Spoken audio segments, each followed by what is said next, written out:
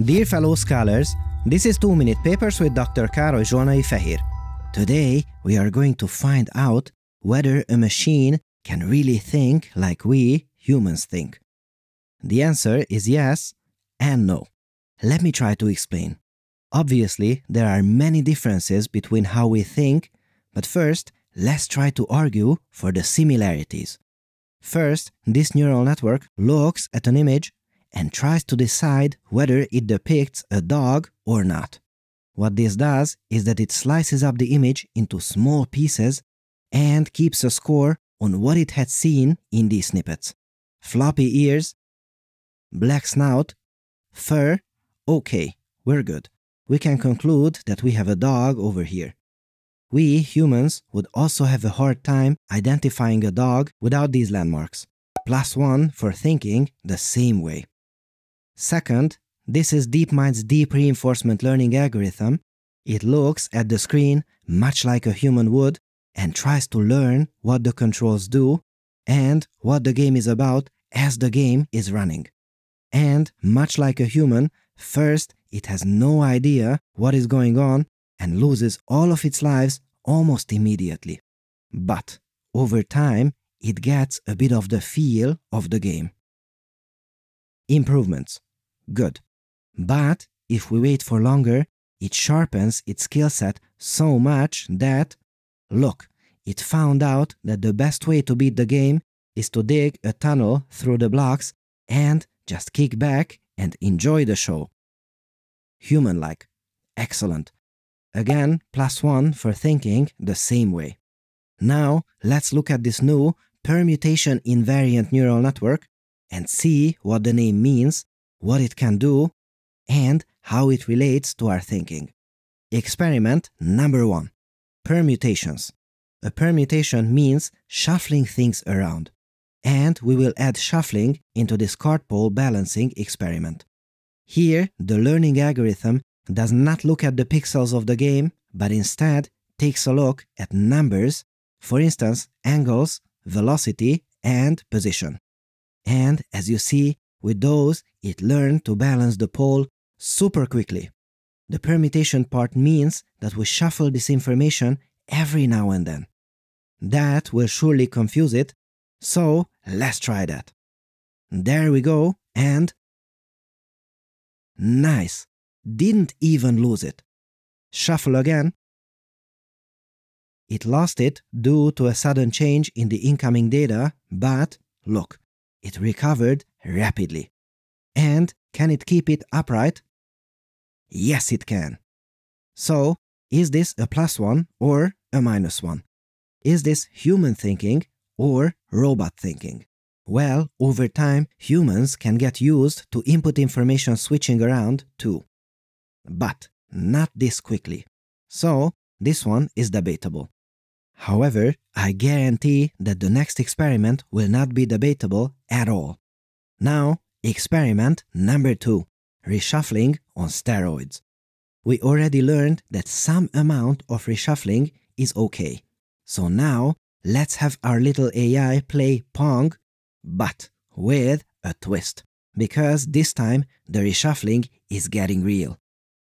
Yes, we now broke up the screen into small little blocks and have reshuffled it to the point that it is impossible to read. But, you know what?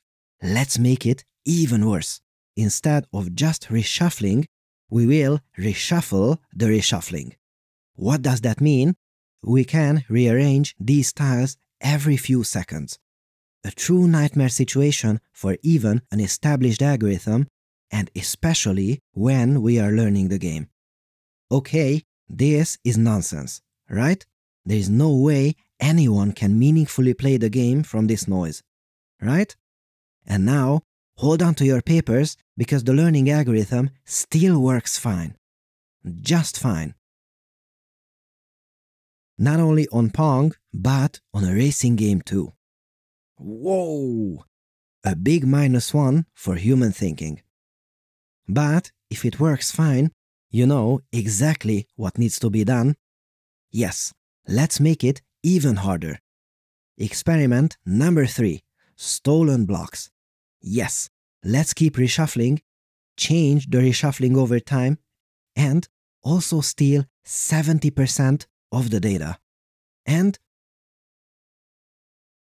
wow, it is still fine. It only sees 30% of the game all jumbled up and it still plays just fine. I cannot believe what I am seeing here.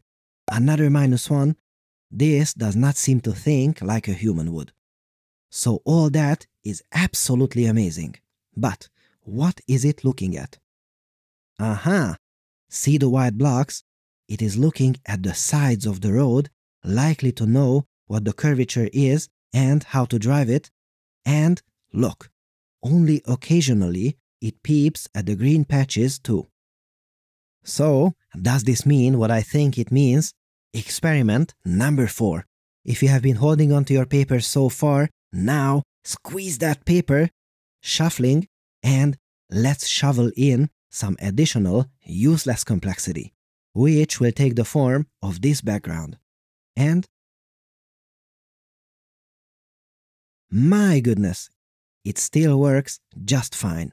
And the minus ones just keep on coming. So, this was quite a ride. But, what is the conclusion here?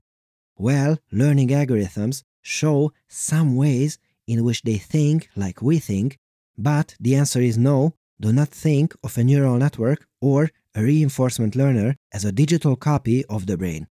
Not even close. Now, even better, this is not just a fantastic thought experiment, all this has utility. For instance, in his lecture, one of the authors, David Ha, notes that humans can also get upside down goggles or bicycles where the left and right directions are flipped. And if they do, it takes a great deal of time for the human to adapt. For the neural network, no issues whatsoever. What a time to be alive! This episode has been supported by Lambda GPU Cloud. If you're looking for inexpensive cloud GPUs for AI, check out Lambda GPU Cloud. They've recently launched Quadro RTX 6000, RTX 8000, and V100 instances, and hold on to your papers because Lambda GPU Cloud can cost less than half of AWS and Azure. Plus, they are the only cloud service with 48GB RTX 8000.